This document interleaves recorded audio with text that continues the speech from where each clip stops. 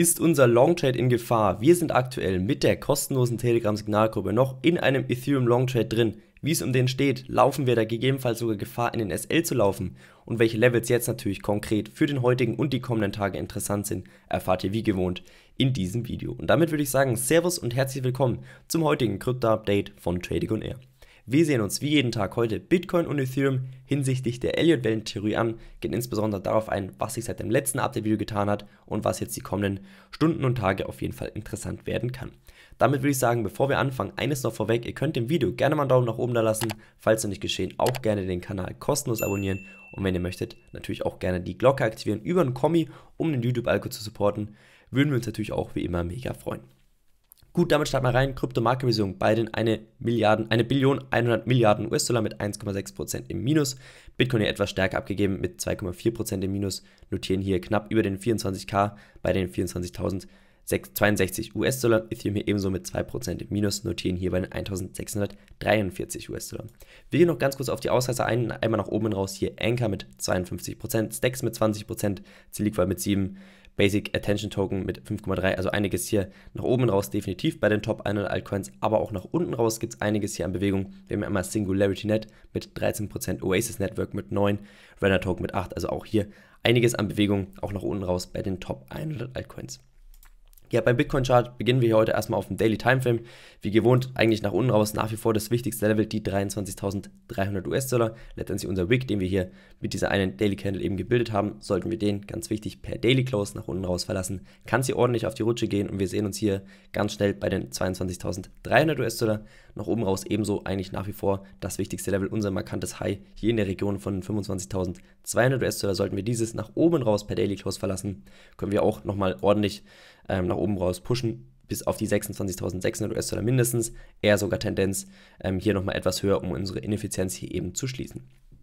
Damit gehen wir auf den 4-Stunden-Timeframe und kurz wie immer auf den übergeordneten Count ein. Wir gehen nach wie vor davon aus, dass wir uns in einer WXY-XZ-Korrektur eben seit unserem All-Time-High ähm, bewegt haben, sprich hier unten diese Welle Z eben in der Region von den 16.000 US-Dollar auch hinterlegt ist. Hier hatten wir auch bereits kleineren Tranchen hinterlegt und jetzt hier demnach im nächsten größeren Aufwärtsimpuls eben drin sind. Hier nochmal ein gelb gekennzeichnet, sprich 1, 2, hoch in der 3, runter in der 4 und jetzt aktuell hier noch eben in der 5. Diese kann jeden Moment gefunden sein. Aktuelle Primäterwartung ist aber, dass diese noch nicht gefunden ist, sondern dass wir tatsächlich nochmal in die 26.600 US-Dollar Region pushen. Gucken wir uns gleich nochmal auf dem kleineren Timeframe an.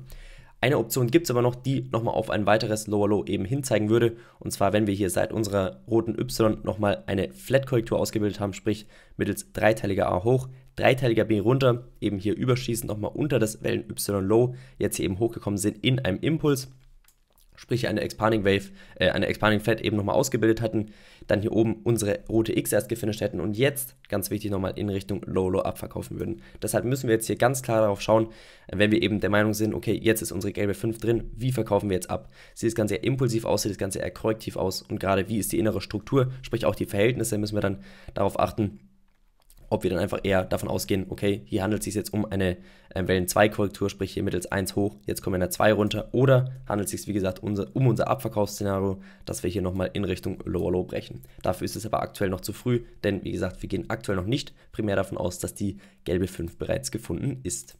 Damit gehen wir auf den 15-Minuten-Timeframe und gucken uns direkt mal an, wie wir unsere gelbe 5 nochmal unterteilt hatten. Und zwar übergeordnet im roten Count, sprich mittels 1, 2 hoch in der 3, nach wie vor auch noch in dieser 3. Diese hatten wir nochmal unterteilt in den blauen Count mittels 1, 2, hoch in der 3 und jetzt hier eben noch aktuell in unserer blauen 4 unserer Meinung nach, um da nochmal in Richtung Higher High mit der blauen 5 zu drehen. Hier gibt es jetzt aktuell mehrere Optionen bei Bitcoin. Also zwei, die einfach sehr wahrscheinlich sind, die wir auf jeden Fall mal großes Augenmerk drauf legen. Und zwar Option 1 die jetzt aktuell letztendlich noch im Chart ist, und zwar mittels A, B, C, D, E, sprich unser Triangle, wie ihr es im Chart sehen könnt. Und dann hätten wir unten jetzt hier unsere blaue 4 gefinisht. Das sieht aber jetzt aktuell hier eher danach aus, dass wir hier nochmal in Richtung Low Low brechen würden. Diese Option besteht aber, solange wir eben das Low noch nicht rausnehmen, sprich, dass wir hier in diesem Triangle, wie ihr es im Chart sehen könnt, uns noch befinden. Option 2 ist, wir kriegen hier ein gedehntes Triangle rein, sprich mittels A hoch, runtergekommen, hoch in der B, jetzt hier aktuell runter in der C, dann haben wir hier etwas weitere Retracement-Möglichkeiten, dann nochmal eine D reinbekommen, dann nochmal in der E abverkaufen und dann hier hinten erst unsere blaue 4 finishen. Diese Option gibt es ebenso, sprich hier die gedehnte Triangle-Version auch mal im Blick behalten. Und die letzte, eher unwahrscheinlichere Option, dass wir uns hier übergeordnet im WXY eben befinden und jetzt hier nochmal in der Y nochmal in Richtung Low Low abverkaufen. Dann würden hier die 23.200 bis 23.000 US-Dollar interessant werden, wo auch unsere Ineffizienz und das Golden Pocket eben wartet. Sollte aber dieses nach unten raus verlassen werden, müssen wir davon ausgehen, dass hier ein nachhaltiges Top eben letztendlich hinterlegt ist. Aktuell sind wir noch bei Ethereum Long, kommen wir nochmal gleich dazu. Da sieht das Ganze nämlich etwas anders aus. Wie gesagt, aber hier gibt es diese, ich sage jetzt mal, drei Optionen, wobei jetzt aktuell Stand jetzt unsere leichte primäre Erwartung ist, dass es sich jetzt hier eben ums gedehnte Triangle eben handelt und wir danach nochmal in Richtung Higher High drehen. Sollten wir aber, ganz wichtig, unsere 23.000 US-Dollar nach unten raus verlieren, ist hier jegliches bullisches Szenario ähm, einfach invalide. Dann müssen wir davon ausgehen, dass hier ein größeres Top hinterlegt war und wir jetzt hier aktuell schon in der korrektiven Abwärtsbewegung letztendlich sind. Hier oben könnten wir uns dann definitiv vorstellen, in einen Short Trade einzusteigen in der 26.600 US-Dollar Region. Würden wir euch natürlich, wie ihr es gewohnt seid, in der kostenlosen Telegram-Signalgruppe up-to-date halten. So sehen hier beispielsweise die Signale aus. Wie immer muss natürlich dazu gesagt sein, das Ganze ist keine Anlageberatung, so traden wir. Ihr könnt diese Trades nachmachen, müsst das aber natürlich nicht. Kam jetzt aber auch neulich ein Trade-Register rein, sprich, könnt euch einfach gerne mal erst selbst ein Bild davon machen, wie wir hier performen, bevor ihr hier die Trades blind kopiert. Ebenso in der Videobeschreibung verlinkt ist unsere Talk News Gruppe, wenn ihr den Austausch in der Community haben möchtet oder einfach mal so kleinere Trade-Ideen und Updates von unserer Seite aus eben nicht verpassen möchtet.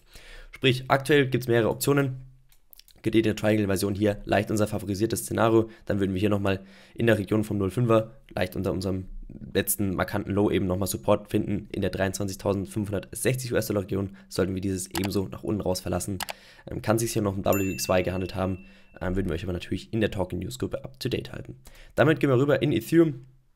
Und das Ganze erstmal auf dem 4-Stunden-Timeframe. Auch hier ganz kurz auf den übergeordneten Count, bevor wir dann zu unserem Trade kommen. Und zwar aktuell ähm, haben das Ganze wie folgt gecountet. Hier übergeordnet seit unserem Low eben im roten 1-2. Jetzt hier aktuell nach wie vor noch in der roten 3. Diese nochmal unterteilt hier in den gelben Count. Jetzt ab jetzt eigentlich relativ ähnlich wie zu Bitcoin hier im 1-2, hoch in der 3, runter in der 4 und hoch jetzt aktuell in der 5. Selbe Spiel auch hier. Die 5 kann jeden Moment gefunden sein. Wir gehen aber aktuell leicht favorisiert noch nicht davon aus, dass es sich hier um die gelbe 5 gehandelt hat. Damit gehen wir auch hier auf den 15-Minuten-Timeframe und gucken uns an, wie wir die gelbe 5 nochmal unterteilt hatten. Und auch hier erstmal übergeordnet im roten Count, sprich 1, 2, hoch in der 3. Und diese rote 3 eben nochmal unterteilt in den blauen Count, hier 1, 2, hoch in der 3. Und auch hier aktuell nach wie vor unserer Meinung nach noch in der blauen 4.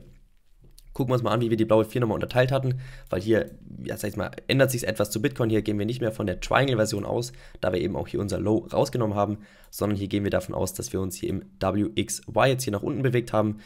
Das kann jetzt jeden Moment letztendlich gefunden sein, es kann aber nochmal etwas weiter nach unten gehen. Komme ich gleich nochmal dazu. Hatten jetzt die Y nochmal unterteilt ins orangene WXY wo wir aktuell auch bereits unser 1, 2, 6er gehittet haben. So, jetzt gibt es hier die Option, der Boden ist jetzt bereit gefunden und wir hatten jetzt hier unser 1, 2 ausgebildet, kommen jetzt hoch in der 3. Die 3 sieht jetzt noch nicht sehr impulsiv aus, müssen wir einfach jetzt abwarten. Diese Option gibt es, aber wie gesagt, wir können hier auch noch ganz entspannt nochmal in Richtung Low Low brechen, denn wir haben einiges an Support jetzt unter uns. Erstens haben wir hier unser Golden Pocket in der Region von den 1613 bis runter auf die 1600 US-Dollar. Wir haben hier unsere Ineffizienz, wir haben unsere Support-Line, wir haben unser One-to-One-Ratio angelegt übers weiße WX und wir haben unser ähm, ja, 1.6.8 letztendlich unseren Extension-Bereich über unser orangenes WX. Sprich hier einiges an Support unter uns und letztendlich der SL liegt nochmal darunter, denn das war auch die Idee hinter dem Trade, dass wir uns eben nicht nur für die Triangle-Variante abgesichert haben, sondern eben für jegliches bullisches Szenario letztendlich, denn wenn wir hier unseren SL hitten, sprich wenn wir hier unter unsere Supportline auch fallen, dann ist es einfach unserer Meinung nach, oder was heißt unserer Meinung nach, dann ist es einfach, jedes bullische Szenario ist dann letztendlich invalide geworden und dann müssen wir auch bei Ethereum davon ausgehen, dass hier oben eben bei den 1740 US-Dollar eben ein nachhaltiges Top, wahrscheinlich unsere gelbe 5, unsere übergeordnete, bereits gefunden war und wir jetzt hier korrektiv nochmal abverkaufen. Solange wir diesen SL aber noch nicht hitten, beziehungsweise einfach noch allgemein hier unsere Levels halten, kann es nach wie vor, oder ist einfach nach wie vor unsere primäre Erwartung, dass wir danach nochmal in Richtung Higher High drehen. Man muss auch sagen, wenn das Ganze jetzt hier bereits das Top gewesen sein soll, ist diese Abwärtsstruktur einfach extrem hässlich, was wesentlich mehr zu einer Welle 4 passen würde, als jetzt hier den ersten ähm, Abwärtsimpuls oder einfach die erste Abwärtsbewegung eben auszubilden. Deshalb hier nach unten raus die eben genannten Levels auf jeden Fall mal im Blick behalten.